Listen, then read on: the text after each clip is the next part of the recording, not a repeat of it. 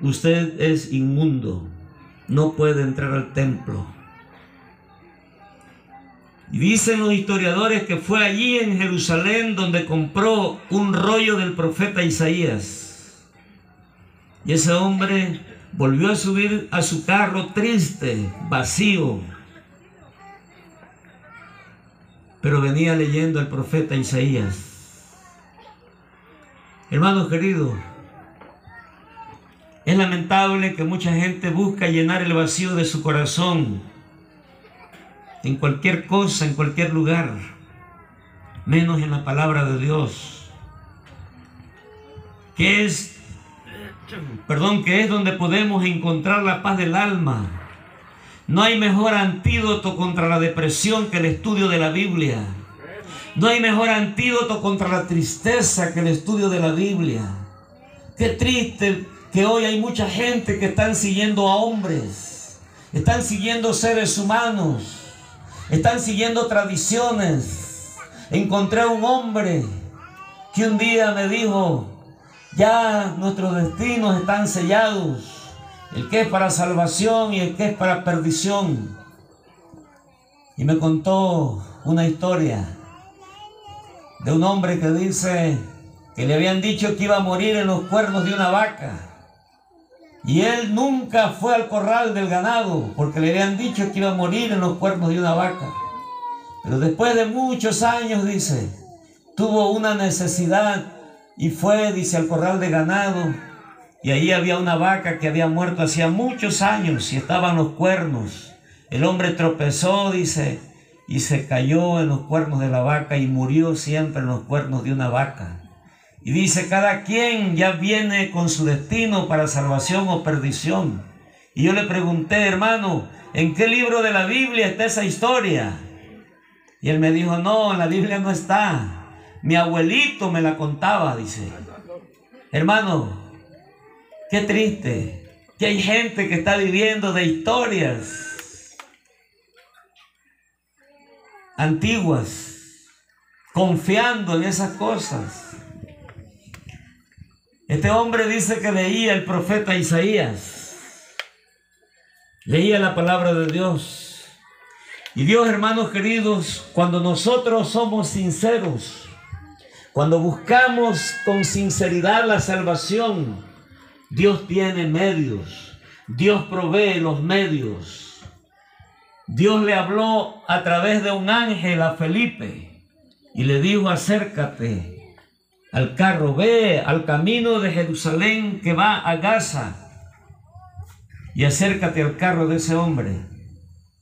Y dice el texto bíblico que Felipe oyó que iba leyendo al profeta Isaías.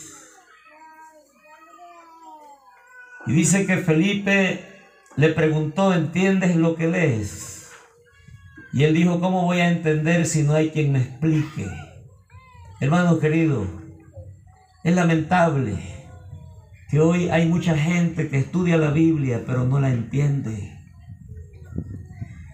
Hoy es lamentable que hay mucha gente que usa un texto para tener un pretexto. Hay mucha gente que usa un texto para enseñar una doctrina que no existe en la Biblia. Y hacen que la Biblia diga lo que nunca ha dicho. Por eso existen, cuando menos los que saben dicen que hay más de 10.000 religiones con una misma Biblia. Porque hay gente que está buscando religión, no salvación. Hay gente que está buscando solo callar su conciencia diciendo yo también soy religioso. Pero tergiversan la palabra de Dios Escuché a un predicador en las redes sociales que dice, no te preocupes, si tienes sed, tómate una cerveza. Y si tienes bastante sed, tómate dos. Y si tienes mucha sed, tómate tres. Y si no te sacia la sed de esas tres, tómate cuatro, de modo que termines borracho. Hermanos predicadores.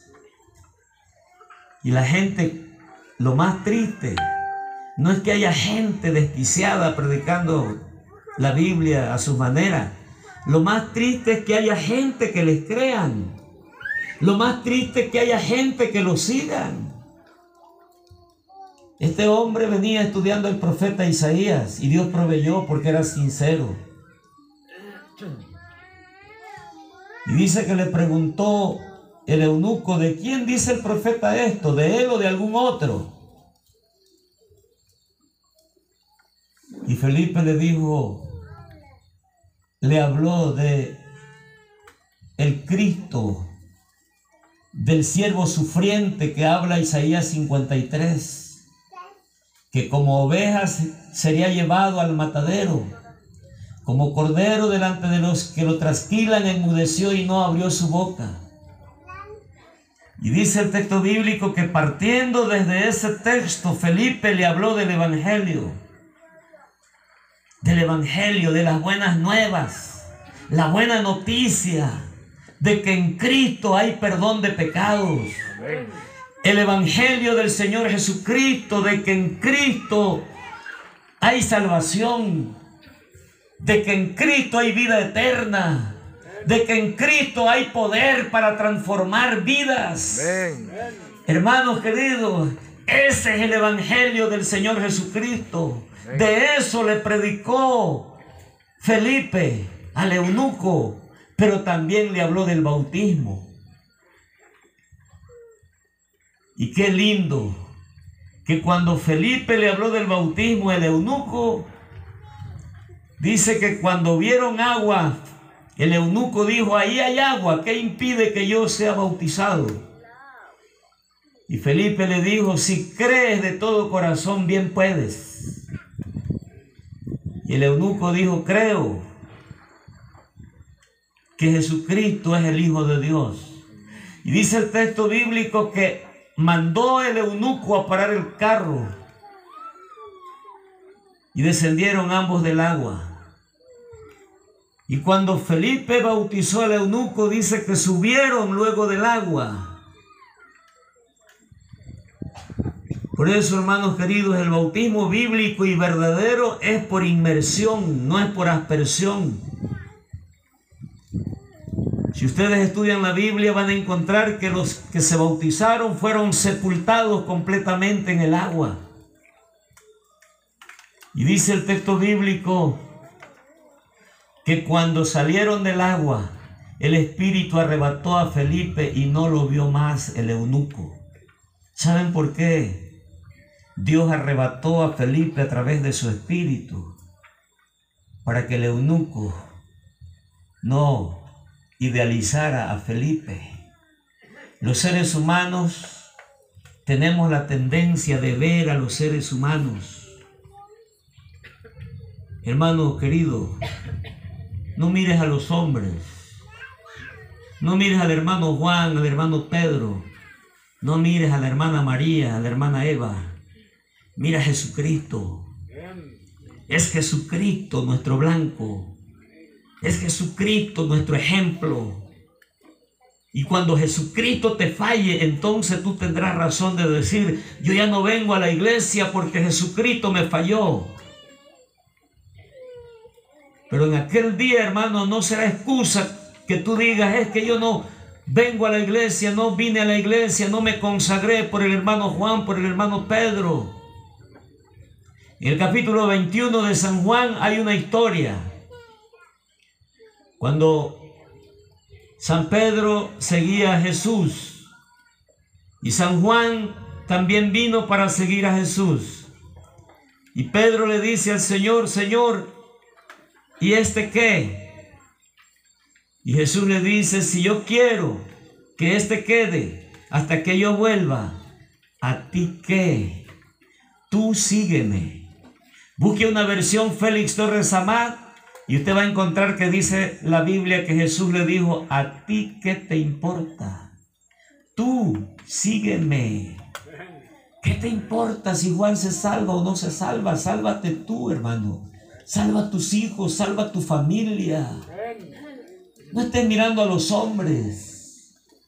Es lamentable que mucha gente está viendo a los hombres los seres humanos fallamos, hermano.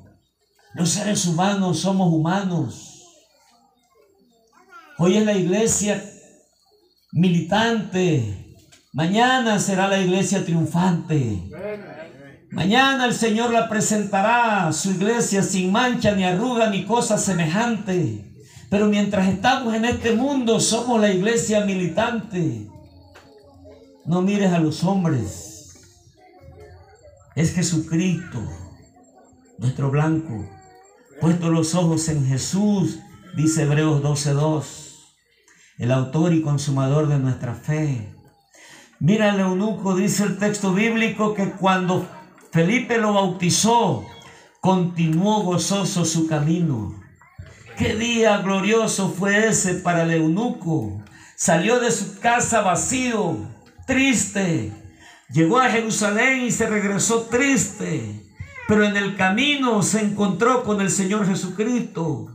Y dice el texto bíblico que siguió gozoso su camino. ¿Sabe por qué? Porque ahora estaba seguro que había sido perdonado. Ahora estaba seguro que había sido limpiado de sus pecados. Por eso ahora dice, siguió gozoso su camino, porque ahora estaba seguro de su salvación. Ya no más noches de insomnio, ya no más noches de tristeza, ya no más vacío en su corazón, ya no más existencialismo, Ahora estaba seguro de su salvación. Ahora podía decir con Pablo, si vivo, vivo para Cristo. Y si muero, el morir es ganancia. Hermano querido, qué bendición poder creer en el Señor Jesucristo. Pero permíteme decirte esta noche lo siguiente. El bautismo bíblico y verdadero tiene cuando menos cuatro características bíblicas. Primero, dice San Mateo 28, 19 y 20. Por tanto, id y doctrinad a todos los gentiles, a toda, la, a toda criatura, bautizándolos en el nombre del Padre, del Hijo y del Espíritu Santo, y enseñándoles todas las cosas. Hermanos queridos, la primera característica del verdadero bautismo es que la persona que es bautizada debe ser doctrinada. Y la doctrina es Jesucristo, que crea en Jesucristo, que acepte a Jesucristo. Y después enseñándole todas las cosas. La segunda característica del verdadero bautismo bíblico y verdadero es que la persona debe creer. San Marcos 16, 16. El que creyere y fuere bautizado, ese será salvo. Hermanos queridos, por eso el bautismo de los niños no es bíblico, porque un niño no puede creer.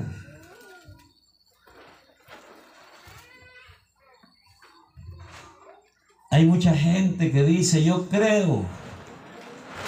Pues si crees, bautízate. No dicen bautizarme, no. Pero yo creo en Dios. Hermano querido, la fe teórica no va a salvar a nadie. La fe teórica también la tiene el diablo. El diablo no es incrédulo. El diablo cree, pero no cambia, no se arrepiente. No da un paso adelante. No es suficiente con solamente creer. Yo a veces me he preguntado, Señor, ¿por qué no es suficiente con solamente creer y nosotros tuviéramos la iglesia llena de creyentes, pero creyentes teóricos, no prácticos? Y la fe es práctica, hermano. La fe actúa. La fe hace su parte.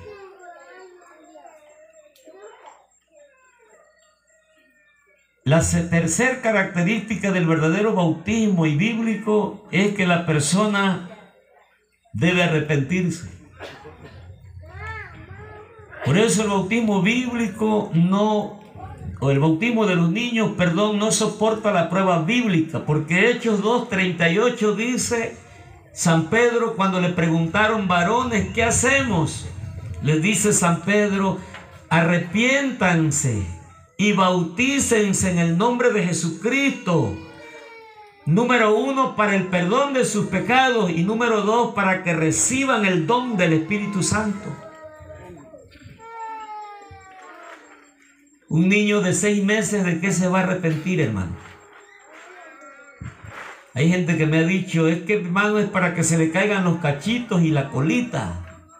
Los niños son niños, tienen el pecado natural, pero no tienen el pecado de comisión.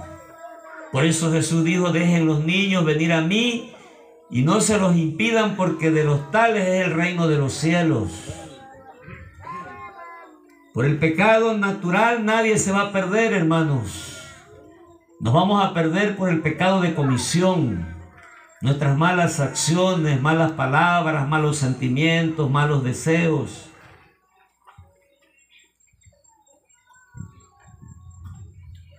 El bautismo bíblico y verdadero, la cuarta característica es que es, que es por inmersión. Romanos 6:4 dice, porque fuimos sepultados juntamente con Cristo por medio del bautismo, para que así como Cristo resucitó de los muertos, también nosotros salgamos a nueva vida. El verdadero bautismo, el bautismo bíblico, hermanos, es por inmersión La tumba líquida es un símbolo de la muerte de nuestro Señor Jesucristo. Y cuando salimos de la tumba es un símbolo de la resurrección. Ustedes han escuchado decir, es que nosotros guardamos el domingo porque es el símbolo de la resurrección de Cristo. ¿Dónde dice la Biblia eso? El símbolo de la resurrección de Cristo es el bautismo, no el domingo. Lo dice Romanos 6:4, porque fuimos sepultados juntamente con Cristo por medio del bautismo. La Biblia es clara, hermano.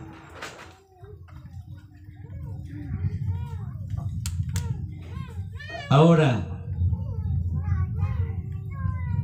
permítanme decirles lo siguiente. Cuando usted va a la Biblia, va a encontrar que todos los que sean salvos un día fueron bautizados. A Pablo le dijeron, ahora pues, ¿por qué te detienes? Levántate, bautízate y lava tus pecados. El mismo Señor Jesucristo, dice San Mateo 3, que fue bautizado en el río Jordán que Juan el Bautista no lo quería bautizar. Pero Jesús le dijo, deja porque así nos conviene que cumplamos toda justicia.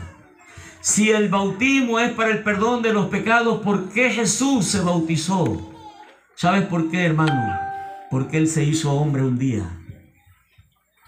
Y como hombre tendría que cumplir con toda justicia.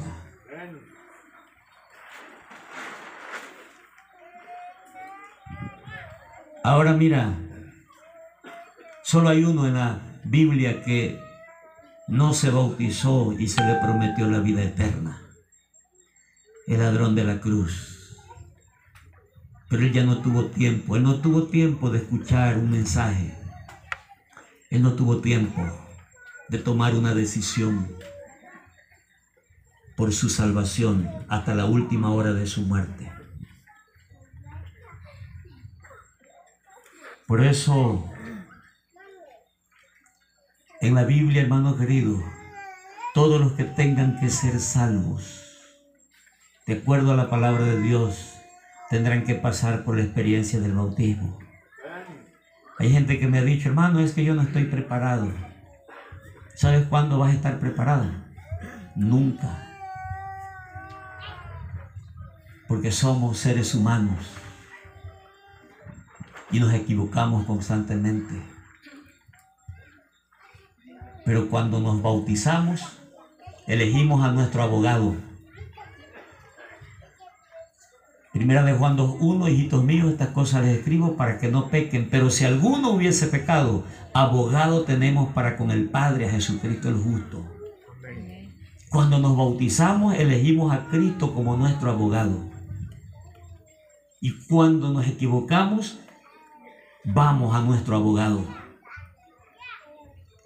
Una vez nos daban un curso de teología, nos daba un curso de teología un teólogo y preguntó a todos los presentes cuándo es mejor pecar antes de ser bautizado o después de ser bautizado. Y todos dijimos antes de ser bautizado. Y él preguntó, y antes de ser bautizado, ¿quién es tu abogado? ¿Quién te defiende? ¿Quién te perdona? Hermanos queridos, el bautismo no es el certificado de santidad. El bautismo es el primer paso hacia la santidad en la vida cristiana. Mira, yo he encontrado gente que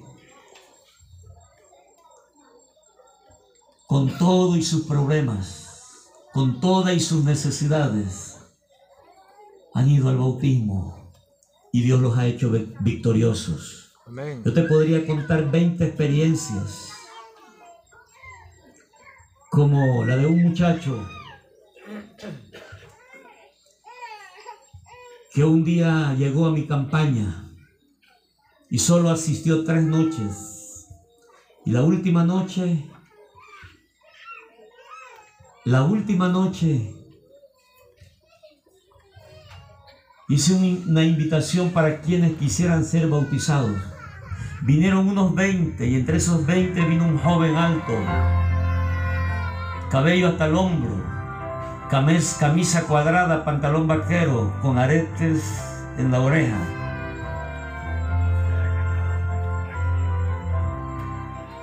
Y hablé con él y le dije, hijo, ¿escuchaste, entendiste bien lo que dije? Sí, me dijo. Usted invitó a quienes querían bautizarse. Le dije, ¿y tú deseas bautizarte? Sí. Esa noche pasé el nombre a la junta de iglesia, una iglesia organizada.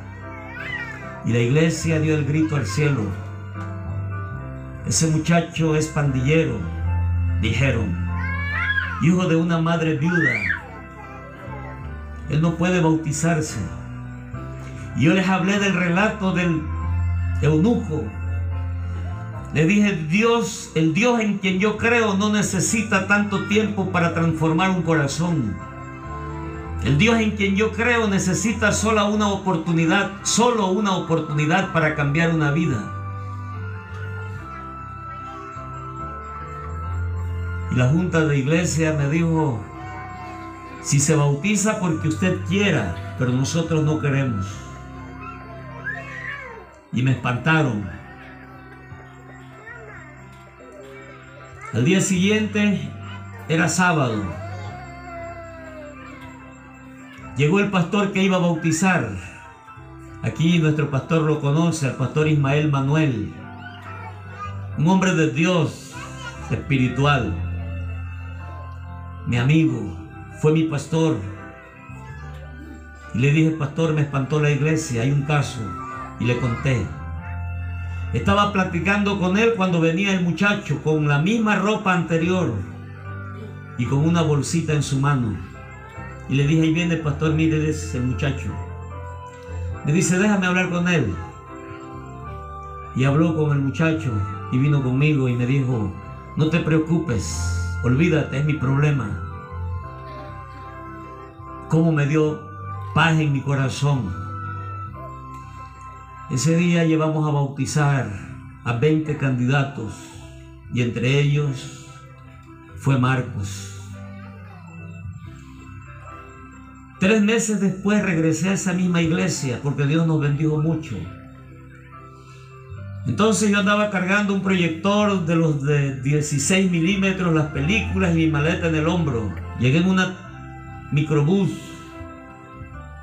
Y ahí estaba un joven alto esperándome, pero ahora transformado, rasurado, bien vestido. Me dijo, hermano, Bersaín lo estaba esperando, me agarró mi maleta. Y Cuando me bajé de la microbús lo abracé. Y me dice, hermano, yo soy Marcos. Él vio mi indiferencia, no lo conocía. Y le dije, ¿qué Marcos? Hermano Marcos, aquel muchacho que me bauticé hace tres meses. Ese muchacho se quedó, lo nombraron director de jóvenes en esa iglesia organizada. Un día me habló para decirme, hermano, venga, vamos a pedir a mi novia, me voy a casar por la iglesia. Hermanos adventistas, ni nuestros hijos a veces se casan por la iglesia. Ese muchacho fuimos a pedir su novia. Lo nombraron anciano de la iglesia, lo ordenaron como anciano. Y un día yo llevé el conjunto desde mi pueblo hasta donde él vive para celebrar su boda. Se metió al colportaje. Ocho años colportando. Después entró como conserje a la escuela de iglesia de Huistla. Continuó sus estudios. Hoy Marcos es un contador público titulado y profesor ahí en el colegio de Huistla. Un hombre que nadie daba un peso por él. Siempre que me encuentra por allí, sabe que estoy cerca, va a buscarme. Un día iba yo caminando por la acera de la calle en Whistler, sentí que alguien me seguía. Volteé, era Marcos. Me dice, iba yo en la combi, hermano, y lo vi que usted iba. Yo no puedo permitir que usted se vaya sin que lo abrace. Marcos me abraza como un hijo cuando abraza a su padre. Y donde quiera que voy, él me va a buscar. Marquito, su hijo, ya es contador público. Ahí está ese joven, ese hombre ahora. Cuando vayan a Huistla, pregunten, ¿quién es Marcos de Paz Hidalgo? Él es un docente en el colegio de la iglesia ahora. Ese muchacho que nadie daba un peso por él. Yo podría contarte 30 experiencias. Acabo de estar en un lugar donde un muchacho todo tatuado llegó noche a noche a la campaña, huyendo de su pueblo, huyendo de sus padres, hundido en la droga. Apenas tiene como tres semanas eso. Se bautizó. Le he hablado a su tío, que fue el que lo llevó a la campaña. Y me dice, aquí está Juan, se llama el muchacho. Una vez hace poco, cuando comenzó la pandemia, exactamente ese sábado, daba una campaña allí por la costa